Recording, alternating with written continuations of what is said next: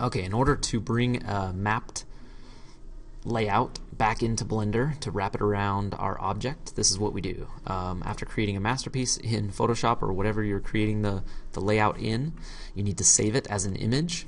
So we save as an image somewhere where you can go find it. Then when you get to Blender, uh, you've got your layout here. We're going to bring it back in. So of course make sure you're in Cycles Render. Come over to the Materials tab, this guy right here select a new material. If there's already one there and it says use nodes, then click that button. Um, now, under the color, instead of a color, we want an image. So we don't want to put a color on our cube, we want an image. So click on this little button next to color, it gives us more options. Go to image texture, and then we're going to open up an image that we have saved. So if as long as you've saved it, you navigate to the right folder, UV layouts, wherever it is. Also, you can click this icon right there and it shows images, and that makes it a little easier to choose than by just finding the name. So click that.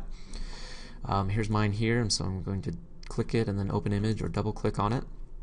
Now it will be mapped on here. If I go here and material, um, it's there. But if I can't see it yet, or if I want to see it here and see how it's mapped exactly, I can click right here since I've already opened it, I don't need to open it again. I just click here and it should be on the list.